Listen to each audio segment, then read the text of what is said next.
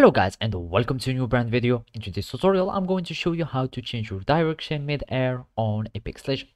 So now we are just going to start a firing range game so we can show you. And basically this movement is called the star strafe. And basically to do a top strafe on the Apex Legend, all you need to do is to do some steps and they are isn't quick steps to start with on the Legend.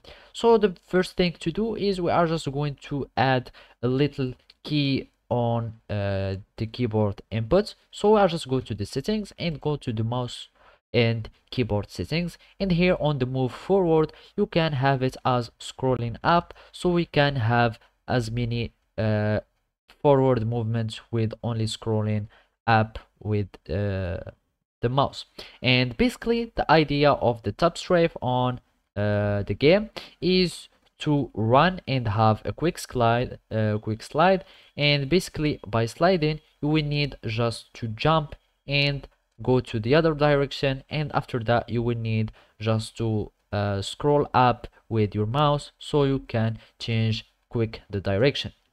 And basically now we are just going to uh, slide and then you will need just to have this uh, the direction where you want to turn and have space or jump and basically you will have something similar to that. And then you will need to change your uh, mouse up or just to scroll up so you can have as many uh, forward movements as you can so you can change fast your movements.